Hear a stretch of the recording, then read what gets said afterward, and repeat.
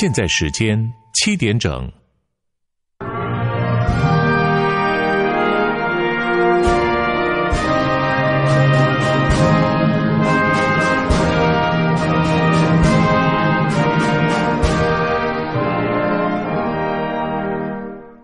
这是快乐联播网啊，花哥开讲的时间，我是吴金发，大家早安。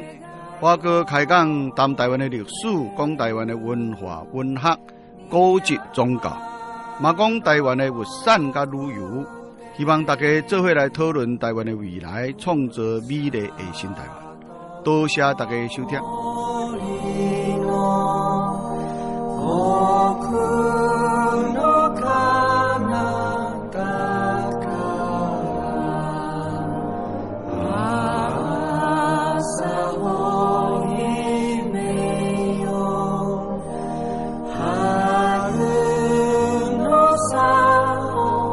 各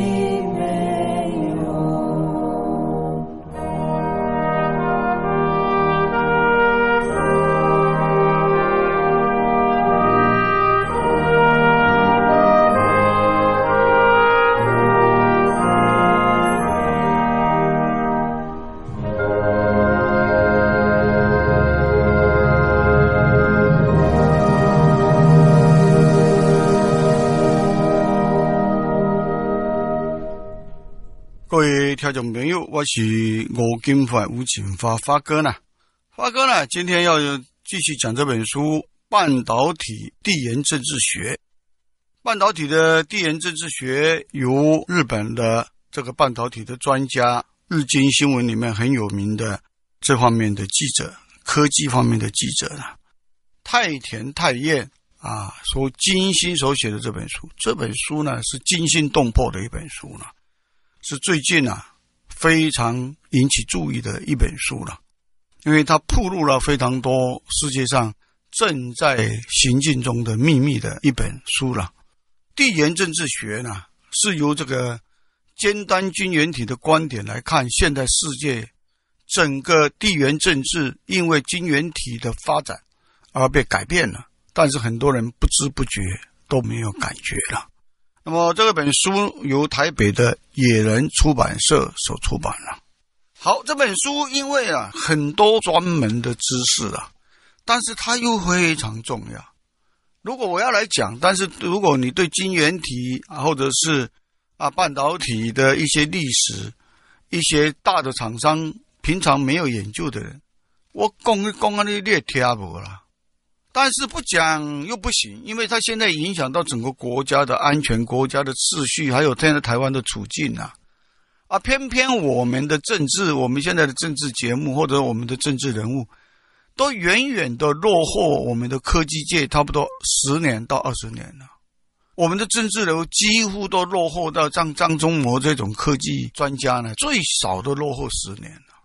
但是这个晶圆体呢，它是不止影响到整个工业发展。花哥啊，上个礼拜就讲过了，晶圆体今天影响它已经不只是工业的基础的问题、商业基础的问题，它已经是深深影响到国防工业了。在乌俄战争里面，我们看到整个晶圆体几乎就是影响到战争了。俄国那么强的军事强权。去打乌克兰，他做梦都没有想到会被乌克兰打到鼻青脸肿。原因在哪里？乌克兰也不是他自己也没有想到，美国、欧洲的军事武器来的时候，他交给他们的武器，美军去偷偷后面进去的佣兵，还教他们的教练使用的武器是乌克兰的军队以前想都没有想过的。乌克兰的军队里面其实进去了一群大学生呢，这群大学生穿着军装，他其实没有在第一线用机关枪呢，他是在军队里面的某一个房间里面在玩电动玩具啊。你说玩电动玩具是开玩笑的说法，他是用自杀无人机，在用电动玩具似的用自杀无人机去把苏联的钢铁洪流、坦克车这些呢，通通炸掉了。这些乌克兰大学生被征调到军中里面去，使用最先进的武器，然后用自杀无人机或者是猎杀的无人机呢，去把苏联的将军上校一个一个干掉，你知道吗？他不是在第一线的军人把他干掉的呢，是藏身在军中一个秘密的教室里面、战壕里面的这些人，使用美国的秘密的镜片所形成的导引器，去把那些将军干掉的了。这些将来等到乌俄战争结束的时候，你看到那些秘密，你简直就是像看好莱坞的电影一样。将来这些片段都会被拍成好莱坞电影了。美国现在是不愿意先铺露这个内幕了。台湾也派了一群人去在那边学习，你知道吗？台湾是有一个，对我们知道战死的一个，他是那个是在第一线的。台湾最起码有一百个这种军人在里面呢。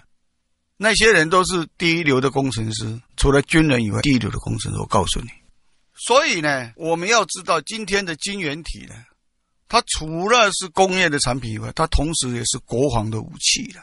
好，最近呢，在选总统选了以后，变成怎么样呢？蔡英文去访美，他是现任总统嘛，到中南美洲去，顺便到美国绕一绕呢，就见了麦卡锡，见了这些重要的一些东西。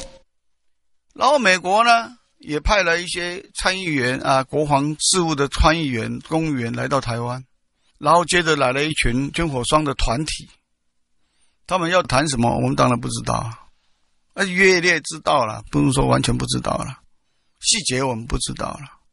当然，中共很紧张啊，他们当然知道说这团来，刚才不是简单的事情啊。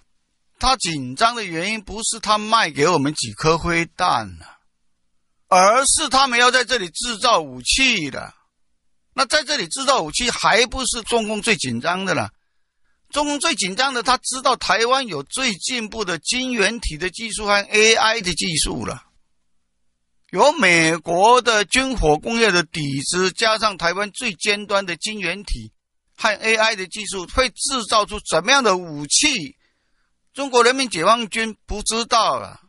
这个东西结合起来，台湾会制造出全世界多么吓人的武器，他们不晓得了。世界上最可怕的事情叫做不晓得。我们为什么怕鬼？鬼从哪里来？从哪里去？鬼会做出什么事情？不知道，所以我们最怕鬼了，对不对？我们为什么对神敬畏？因为神从哪里去？神会去哪里？神会怎么惩罚我们？神会怎么保护我们？不知道，因为不知道叫做最可怕。所以也是如此啊。好，这个蔡英文这样啊，赖清德去了日本啊，日本有一些见面。赖清德之间啊，和肖美琴，肖美琴对美国那么熟啊，民进党这样，所以国民党也要赶快派人出去接洽看看呢。结果国民党派的是马英九到中共那边去和习近平底下的人马接触，那是落伍专制的地方，还在那喊那个东西。好，抢先国民党下来的是郭台铭呢。我想争取国民党里面的这个提名呢，他跑到美国去呀，见了科技界啊，说我是科技界的这个台湾红海的科技界的老板呢，我去美国见一些科技界的人，然后再跑到日本去，我和日本的科技界的人见见面呢，我们有合作事业。好，你国民党要不要提名我啊？我在美国和日本都见了科技界的人啊，我有科技界的实力呀，有那个底气呀。国民党的呵呵这代级那搞搞啊，紧张了啊。那我也得出去跑一跑啊，但是要跑到哪里去？美国要去访问谁啊？日本要去访问谁啊？没有线可以牵呢。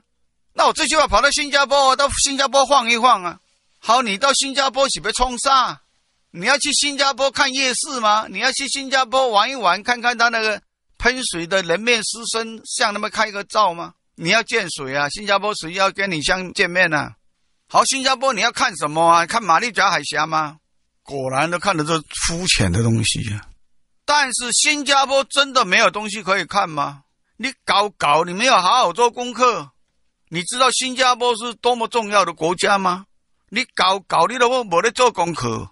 新加坡，美国在衡量，有两个国家是现在很多人不知道的，一个是东南亚的新加坡，一个是在前苏联的共和国里面的亚美尼亚。很多人以为亚美尼亚上次和亚塞拜然打战，打败战被亚塞拜然打败了，所以亚美尼亚是一个弱国小国家。你搞错了，亚美尼亚现在是中亚最强的国家了，不能因为打了个小战争，死了个一千多人就说他输了。下次再打，你看看谁会赢好，发哥过几天会介绍亚美尼亚为什么是中亚最强的国家，而且是最可怕的国家。中亚那些国家，亚塞拜然周边的国家都是回教徒啊。亚美尼亚是全世界最古老的基督教国家，你知道吗？亚美尼亚是一个怎么样的国家，你知道吗？在台湾恐怕很少人听过亚美尼亚吧？有去过亚美尼亚去游玩过玩过的观光客，大概更少吧。好，下一次讲亚美尼亚，现在我们来讲新加坡。台湾人熟悉的新加坡，去新加坡玩过的人很多。每一次我问的新加坡，你印象怎么样？哦，很干净呐，没有人敢丢垃圾啦，丢垃圾会滑啦，什么什么的啊。新加坡就好像医院一样，整个新加坡呢干净的不得了啊。那剩下的呢？新加坡吃东西很方便呐，比台北方便呐。新加坡很有秩序的，新加坡也是多民主国家啦。有华人呢，还有这个马来人呢、印度人都有啊。啊，新加坡讲台语买通啊。然后呢，新加坡人大部分都很会讲英文呢。然后呢，没有了。那你在新加坡怎么样呢？啊，玩三天就没地方玩了，那么小啊。那是你不懂新加坡啊。美国为什么说现在东南亚国力最强大的国家叫新加坡呢？新加坡才两个半台北市大。他的军队还要台湾训练呢，你知道星光计划吗？他的军队就人口那么少，所以军队也就这么那么小一个地方啊。两个半台北市大，他的军营也不过就是那样的，军队也是人数那么少，军队还是台湾帮他训练的美式装备。你怎么说他是军力？新加坡是国力最强大的国家啊？他国力到底在哪里？那个军队能打仗吗？就算能打仗，他那个军队要到哪里打？那个腹地那么小。第二次世界大战的时候，日本的军队一跨过这个海峡到新加坡去，还没有打就投降了，全部。所以呢，新加坡到底美国为什么推崇新加坡的国力最强？现在已经变成东南亚最强的，美国是凭什么去说新加坡变成东南亚现在最强大的国家？OK，新加坡有两个最大的力量，大家所知道的第一个力量是金融的中心，新加坡是亚洲金融中心。新加坡当初独立的时候，李光耀当第一任的总理。李光耀当总理第一次开那个内阁会议，每一个来的部长都满面愁容。李光耀问这些部长说：“大家绞尽脑汁，大家想一想，我们新加坡到底有什么？我们现在已经被马来西亚联邦逐出去了，赶出去了。我们新加坡独立不是我们争取要独立，是我们被赶出去了。我们必须成立一个国家。”大家想一想，我们新加坡有什么？每一个部长都愁脸满面。那我们新加坡什么都没有。我们新加坡只有阳光和海洋啊，太阳很大，然后就看到海水啊。结果李光耀说：“有阳光和海水还不够吗？”你看李光耀有多乐观呢？结果谁是正确的？李光耀是正确的。有阳光，所以可以变成欧洲人最喜欢来的旅游中心呢，来日光浴啊。来这里啊，观光啊！欧洲人正好白皮肤，喜欢晒太阳，晒晒古铜色很好。那么新加坡在旅游的中心发展旅游业，有海水，因为海水窄小的马六甲海峡，所有的货轮要从这里经过，所以新加坡控制了马六甲海峡，所以地理、地缘政治方面重要。每一艘船都要从这里经过，我们在这里守住海峡，抽关税，然后呢，所有的。货轮从这里经过呢，我们可以变成一个金融交换中心。所有的货物在这里经过的时候，我们有个金融业、银行业从这吸收到这里来。谁都需要金融。果然，按照李光耀的理想，把所有的人才都吸收到新加坡来。这个历史就非常像一个国家，发哥曾经讲过的国家。那个国家叫做荷兰。荷兰建国之前是一个尼德兰。也就是把土地都在海平面以下，烂泥一堆，没有人要去的地方。刚好西班牙迫害基督教，所有基督徒最优秀的基督徒、最好的人才没地方去，就逃到尼德兰去。这些人都是钻石加工业的买卖的犹太人，或者是信基督教的新教徒，各地最精英的基督徒，或者是另外不同理想的天主教徒。荷兰有最大的包容力，所有的人才到这里，喜欢冒险的人到阿姆斯特丹。同样的，新加坡呢，那些被歧视的华人、最精华的华人到这里来。在印度受到种姓制度排斥的不同的不认同印度教徒的人到这里来。在巴厘岛、在爪哇被歧视的不同宗教的人的人才到这里来。然后所有的最精彩的人到这里来，逐渐的所有的人才变成新加坡吸收的中心。那么这批人在这里慢慢的变成商人的集散地。珠宝商的集散地，经营的人才的集散地，人才就是国家最重要的资产。新加坡逐渐的变成了亚洲的金融中心，所以新加坡是前半段时间在二十世纪建国的前半段时间，逐渐凝聚的一个力量，叫做金融中心、航运中心、交易中心、观光中心。这是新加坡实力的开始，它起点李光耀的设定就是正确的，就是金融中心。但是今天的新加坡又转型了，转型变成什么东西呢？来，用我节马哥。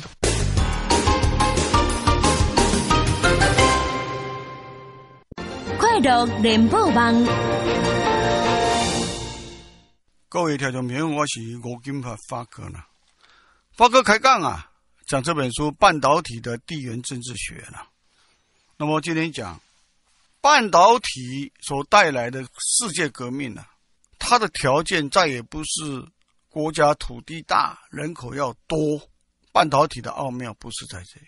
半导体本身这个这个东西就就不是在讲大，它本身就是越小越好啊，越小越精密，能够储存越多的资料。它本身这个东西。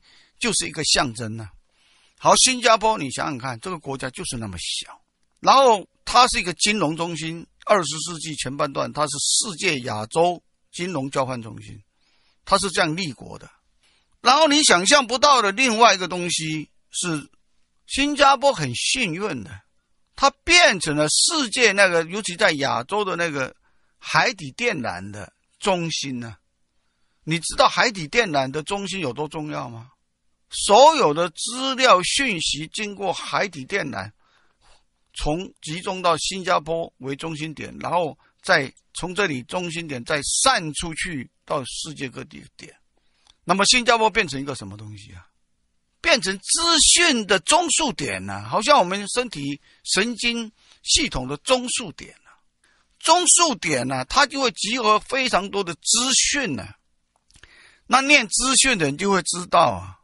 国家力量啊，储存越多资讯、越多资料啊，就是力量的表现呐。一般老百姓听不懂这句话，但是学资讯的人或者现在学工商的人，这句话他马上就懂了。一我发哥讲这句话，他就懂了啦。储存最多工商资讯、各种资讯、资讯储存最多资讯的国家的人。拥有最多资讯的人，就是强国家强大力量的展现。海底电缆在这里为中心点，再出去，它储存了最多的世界的资讯，在这里啊。那么这是第二个条件。那以前储存资讯是用别的方法在资讯嘛，用电脑啊这些东西在储存。现在呢，现在储存资讯最大的一个利器是什么？就是晶圆体嘛。华哥不是讲过了吗？以前要用很大的、大的超级电脑，大到不得了，要用几个房间大的那个大的电脑。现在再用一个几厘米的、几纳米的那个晶片就储存进去了，然后经过这个晶片的储存以后，再放到伺服器里面去啊。那伺服器里面经过伺服器，然后再储存到那个大量的资料里面去啊。华哥不要再讲下去，讲下去越讲越专门，到时候听不啊。一般的听众朋友听不啊。但是你一个概念就知道，谁拥有那个最完整、最大量的资讯呢？谁的国家的力量就最大了。因为这样呢，新加坡土地小，人口多，没有什么资源，结果但是他拥有最多的人才，所以新加坡的政府讲究效率，他的国家资源发展资源，国家经济发展局啊。简称为 EDB 啊，好，新加坡经济发展局 （EDB） 这个机构呢，力量有多大？你知道吗？EDB 啊，不是美国的 CIA、FBI，不是这样的机构，但是呢，它有那个机能，而且他厉害在哪里？他非常擅长这个荷罗朗这种秘密贸易的手段啊。包括核罗朗是啥？核罗朗的特征是什么？和犹太人习惯一模一样啊，叫上红包啊，你知道吗？送红包啊，送红包解决问题啊。但是 EDB 所做的不是送红包，送红包是送真正的钱呐。但是他代替国家呢，给外商啊争取争取的外商私下签协议的好处了，不是真正给你钱呢。EDB 呢，这个这本书的作者呢，太田太彦呢，他说呢，这个组织实在太厉害了，他和他接触的经验呢。这 EDB 这是国家的机构哦，新加坡的国家机构叫做经济发展局啊，它专门呢，只要外国的外资公司要来新加坡投资，这些公司它马上就 EDB 的人就马上就会调查的很清楚，这个外来投资公司它的背景是什么？它的背景如果是中国共产党，他马上知道；或者是这个投资公司的外景背景是美国公司、英国公司。它背后的操纵者是什么？这个公司的背景是啊，阿拉伯大公国背后的哪一个基金会？他马上就清清楚楚。然后这个公司要来新加坡投资，它的基金有多大？它对新加坡会产生多大的影响？他马上知道。然后他从这里面去选择对新加坡最有利的投资公司。他只要确定了这个公司来新加坡投资会给新加坡带来。最有利的公司，EDB 马上会派人去 under table，就是在桌子底下里面达成交易，他绝对不会在桌面上达成交易。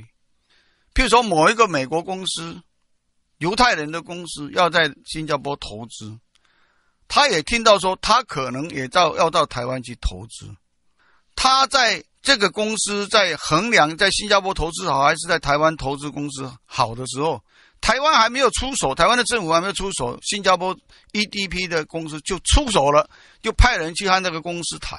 你在新加坡投资，你想要取得什么？你想要得到什么利益？EDP 就把它挖走了。你要我们新加坡什么政府？这个租税减免啊，租税都低或怎么样啊？土地什么什么，我都替你解决这些问题。你不要到台湾投资，到新加坡投资，就把你挖走了。台湾公司还在那边，政府还在跑程序，他就挖走了。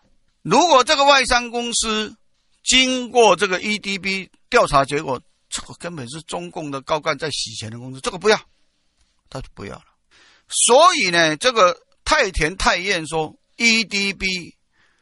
这个新加坡的这个公司简直太吓人了。与其说他这个每一个公务员呢，他说他见面的这个人哦，EDB 的公司的人，他们都很谦虚的讲，我们的每一个政府官员呐，都是业务员呐，都是业务员呐。我们国家很小了，所以我们国家对我们很好了，我们薪水很高了，所以我们不会贪污了，我们都是干业务员这种精神去为国家拼命的。但是呢，太田太彦说，他讲他们是业务员是谦虚，我认为他们全部是特务了。他说他们那种作风做法简直就是特务。他为什么说他们是特务呢？他说他呢谈到日本的一个企业要到新加坡去投资哦，他在吃饭聊天的时候，他竟然把我们日本那家企业里面的社长空缺。哪几个派系？我们那个日本企业里面有分成哪几个派系？哪一个派系？哪一个派系怎么斗争？谁想要争取当社长？现在是哪一个派系的某一个人最可能当社长？他已经了如指掌，他我们连日本人都不知道的事情，他对我们日本那个大企业的董事斗争，董事有几票几票，他都知道。他说新加坡这个 EDB 太可怕了。他为了要把日本这个公司争取到新加坡去设中心，他把我们日本那个企业里面的人事斗争派系都弄得一清二楚。他哪里是业务员？他根本就是商业特务组织啊！所以新加坡不会有人是他的对手的原因在这里。所以他你再看看，他说整个新加坡光是 Google，Google 在新加坡就设立了两三个中心呢。Google 同时在新加坡设立中心点啊，也在台湾设立中心点。但是这个作者没有讲 Google 为什么不在日本设立中心点，他也没有讲到 Google 在台湾设立中心点的原因。他只在说新加坡为什么要无论如何把 Google 弄到新加坡去。他说呢，Google 新加坡的地价比日本还要贵啊，甚至比东京还贵。那么，Google 为什么会选择在新加坡呢？Google 的中心点为什么设在新加坡呢？新加坡的地点、地价什么都比日本贵啊。他说，Google 选择设在新加坡，原因不在 Google，而是新加坡的政府。太田太彦讲说，Google 把点设在新加坡的原因，一定是 EDB 在私下和 Google 达成了协议。他暗示的原因就是说。Google 一定是被新加坡政府买了的。新加坡政府给了他所有的好处，所有的方便，叫 Google 去设点设在那里。那么新加坡为什么无论如何要把 Google 设在那里呢？因为 Google 可以提供最多的资料，可以提供最多的资讯。那么 EDB 现在的目标是什么？它就是要把半导体的中心点。争取到新加坡来，所以现在的新加坡可以说呢，它是有两张脸。嚯，这个形容实在太生动了。今天的新加坡有两张脸，表面上那张脸呢，它是亚洲金融交换中心的，它是亚洲的金融中心呢。私下的一张脸是什么？私下的一张脸，它是亚洲金元中心呢。现在在新加坡，你可以想象得到吗？它的土地面积只有两个台北市大，但是有美光晶圆体的美国很大的科技中心——美光科技在那里，有格罗方德公司在这里。这是美国两方德有多大？你知道吗？美国格罗方德公司有多大？你知道吗？它世界第三大哎，它只仅次于台积电和韩国的这个三星呢。第三个就是格罗方德，它现在拥有美光、格罗方德和欧洲的意法半导体，还有拥有台湾的联电呢。联电以前和这个台积电是在争龙头的，现在联电当然输很远了嘛。但是联电虽然输这个台积电很远，但是新加坡不放弃联电呢，他认为联电还是有很大的潜力。所以把联电拉进去，美国的美光、格罗方德、欧洲的意法半导体，再加上台湾的联电，这四个大的晶圆体中心，全部争取到一个小小的岛，叫做新加坡。它连接起来，它会产生多大的、多大的这个能力？你想想看。所以呢，你这些看看呢，你就知道新加坡野心在哪里呢？格罗方德后面的公司虽然是美国公司，你知道格罗方德后面的投投资的力量是谁吗？格罗方德背后的老板，真正的老板是阿拉伯大公的王室，哎，他后面真正的老板是阿拉伯大公国的王室的一个基金呢。所以从这里你就看到了 EDB 现在招揽外国的半导体企业的名单，我们就可以知道。它是一个战略性的招商的投资的组合，它是以美国商业的这个大的半导体为中心，然后把欧洲的半导体的强者也拉进去，把台湾的联电也拉进去，一点都不遗漏。它目的在干嘛？他目的在干嘛？把这几个欧洲的、台湾的、美国的最强的半导体中间的精英。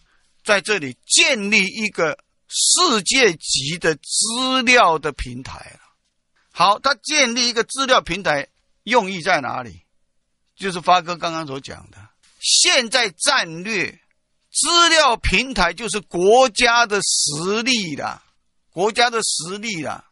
你拥有最多的资料，拥有资料平台，拥有最多全世界最多的资料。这个资料平台就变成不可或缺了。当有一天如果真的新加坡受到侵略，这个侵略国家他不知道会从哪里来啊？说不定哪一天中共的那个武力真的失去理性，在南海扩张扩张到有一天，你敢保证说他不会这个侵犯到新加坡吗？有可能啊，像当初日本的军阀这样一直扩张扩张到到最后占领新加坡，他新加坡当初想得到吗？中共现在的南海势力一直扩张扩张扩张到有一天会威胁到新加坡，他可以想象得到吗？他也想象不到啊。或者是印度的军力一直扩张到哪一天某一天威胁到新加坡的，他那也想不到啊。那么新加坡的军队的武力，他有办法保护一个那么小的国家吗？他的实质的军队力量是保护不了新加坡的。但是他的平台资料平台变成这么大的是这么关键的时候，谁会替新加坡打仗？只有一个国家会替新加坡打仗啊，会来保护他的国家安全呢。那个国家叫做美国，还是美国啊？美国一定会去为了保护这个新加坡的这样子的大庞大的资讯平台，美国非得出兵去保护新加坡不可。这个就是新加坡今天的国安考虑、国防考虑。它除了亚洲金融中心以外，它的野心还是要建立一个亚洲资讯平台。它要把半导体。在新加坡成立为一个非常大的一个资讯中心。从新加坡回过头来，你看台湾，台湾的强大在哪里？台湾的强大就是它已经形成了亚洲最强的台积电、联电、这个联发科这些，它已经在台湾形成了亚洲自由世界，包括美国、欧洲不可或缺的晶圆体的最尖端科技的中心。所以，为什么欧洲、美国一直再三给中共讲，台海的和平已经不只是台湾的问题？欧洲、美国绝对要维护台海的安全，原因是你不可以在这里使用武力，因为这个会威胁到全世界的安全。所以，台湾的晶圆体、台湾的半导体的优势，已经使得台湾自己本身的武力以外。变成一个很大的国安的保护的力量，这个就是今天台湾最大的国安的一个护国神山的原因在这里。在这方面来讲，我们晶圆体的发展就是我们国安的背景，和国安的靠山。当然，我们的军队也要编更多的预算来充实我们的国防，但是我们有晶圆体的优势。我们有这种晶圆体的晶片的优势，我们很快就会发展出最先进的武器。只要美国在军武方面放行，把我们的捆龙锁放掉，台湾做出来的武器你会吓死。告诉你，啊，现在美国正式把这些捆龙锁放掉，台湾、韩国、日本在十年之内会变成亚洲的军事武器军武的怪兽。所以发哥最后报一支名牌给你，这支名牌叫做：你如果在玩股票的，这一年之内、两年之内，台湾的只要有关系到军武发展的，你长期的投资在这里不会错的。好，我当然不要讲哪一支，讲哪一支就不对了，对不对？不是我这个这行广播的人应该做的责任呢，对不对？不应该做的这个事情呢。多谢你收听啊！明天再感谢时间，再见，拜拜。